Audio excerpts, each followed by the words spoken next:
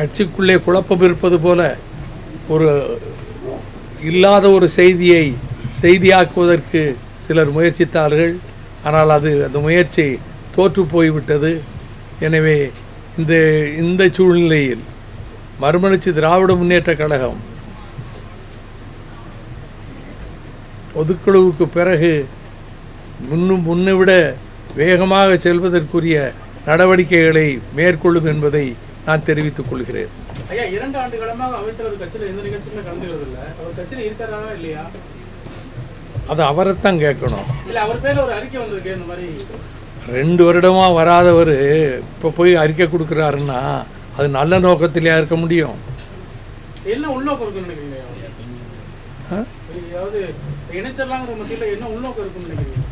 அவருக்கு இருக்கலாம் யாருக்கு இல்லை. கட்சியில் தொண்ணூற்றி ஒன்பது புள்ளி ஒன்பது சதவீதம் பேருக்கு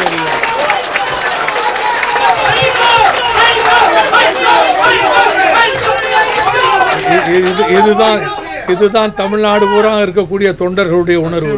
இந்த உணர்வு தான் தமிழ்நாடு பூராவில் உள்ள தொண்டர்களுடைய உணர்வு. யாருக்கு அந்த மாதிரி செய்யணும் இல்லை. முப்பது வருஷம் நாங்கள் போராடி பயணித்து வந்துட்டோம். எத்தனையோ கஷ்டங்களை கடந்து வந்திருக்கிறோம். இன்னும் கடந்து போவதற்கும் தயாராக இருக்கிறோம். இதையும் கடந்து செல்வோம்.